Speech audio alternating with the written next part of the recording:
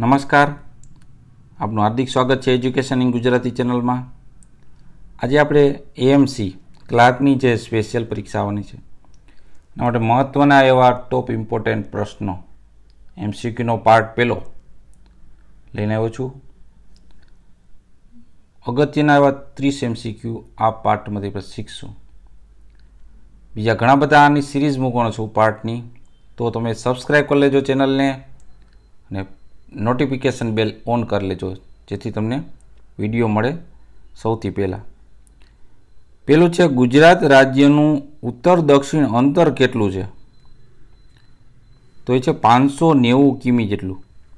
બીજો પ્રશ્ન, ગુજરાતમાં ગળીનું વિપુલ પ્રમાણમાં ઉત્પાદન કયા સ્થળે થતું હતું? તે થતું સરખેજ, અમદાવાદમાં.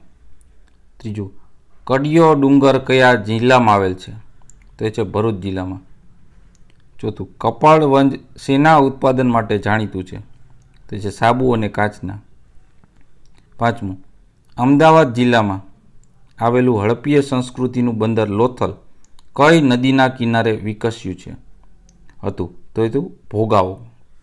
છઠ્ઠું, ગુજરાતમાં વાડીઓનો જિલ્લો તરીકે કયો જિલ્લો પ્રખ્યાત છે? તો છે વલસાડ જિલ્લો. સાતમો પ્રશ્ન, ગુજરાતના કયા જિલ્લામાં સાગ પુષ્કળ પ્રમાણમાં થાય છે? તો છે ડાંગ જિલ્લામાં. પ્રશ્ન આઠમો, વિશ્વામિત્રી નદીનું ઉદ્ભવ સ્થાન કયું છે? ઉદ્ભવ એ ક્યાંથી? તો પાવાગઢના ડુંગરમાંથી. નવમો પ્રશ્ન, ગુજરાતમાંથી જ નીકળતી હોય અને ગુજરાતમાં જ વહેતી હોય તેવી સૌથી લાંબી નદી કઈ છે? તો એ છે નદી ભાદર નદી. દસમો પ્રશ્ન, ગુજરાતમાં ઉછેરવામાં આવતી જાતવાન જાફરાવાદી જાત કયા પશુની છે? તો એ છે ભેંસની. અગિયાર પ્રશ્ન કર્કવૃતની સૌથી નજીકનું બંદર કયું છે? તો છે કંડલા બંદર. બારમો પ્રશ્ન, ગુજરાતનો સૌથી વધુ ચાલતો એટલે કે એકવીસ દિવસનો મેળો કયો છે? તો છે શામળાજીનો મેળો. પ્રશ્ન તેરમો, ગુજરાતમાં ડુંગરનો સૌથી વધારે ડુંગળીનો પાક સૌથી વધારે પાક કયા જિલ્લામાં થાય છે? તો છે ભાવનગર જિલ્લામાં. ચૌદમો પ્રશ્ન, નર્મદા નદીનું બીજું નામ શું છે? તો છે રેવા. પ્રશ્ન પંદર, ગુજરાતની કેટલી નદીઓ પર બે બંધ બાંધવામાં આવે છે? તેવી ચાર નદીઓ છે. પ્રશ્ન સોળમો, ગુજરાતમાં સૌથી છેલ્લે સૂર્યાસ્ત કયા જિલ્લામાં થાય છે? તો એ છે કચ્છ જિલ્લામાં. પ્રશ્ન સત્તરમો, ખીજડીયાનું પક્ષી અભયારણ્ય કયા જિલ્લામાં આવેલ છે? તો એ છે જામનગર જિલ્લામાં. પ્રશ્ન અઢાર, નવસારી કઈ નદીના કાંઠે વસેલ છે? તો એ છે પૂર્ણા નદીના કાંઠે. પ્રશ્ન ઓગણીસ, કચ્છની ઉત્તર સીમાએ મોટા રણનો વિસ્તાર ચોમાસાને અંતે કયા નગરની રચના કરે છે? તો છે સુરખાબ નગરની. પ્રશ્ન વીસ. જૈન તીર્થ સ્થળ પાલીતાણા કયા જિલ્લામાં આવેલ છે?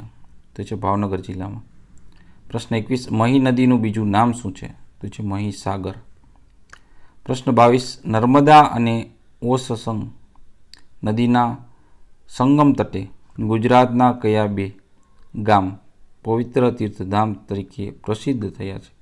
તો છે ચાણોદ અને કરનાળી.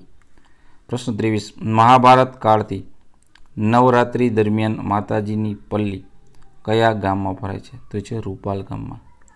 પ્રશ્ન ચોવીસ. મંદિરોના નગર તરીકે કયા શહેરની ગણના થાય છે? તો છે શહેર પાલીતાણા. પ્રશ્ન પચીસ.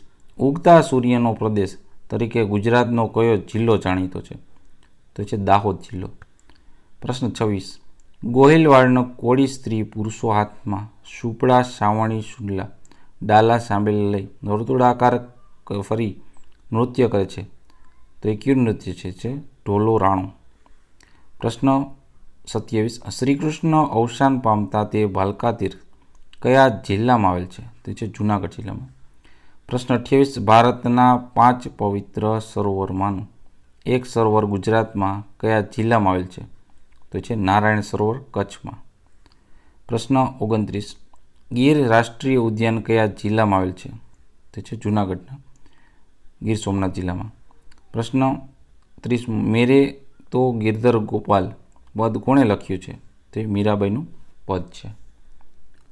તો આ હતા એમ્સની ક્લાર્કની સ્પેશિયલ પરીક્ષા માટે અગત્યના આવા ટોપ વન લાઇન એમસીક્યુનો પાર્ટ પહેલો.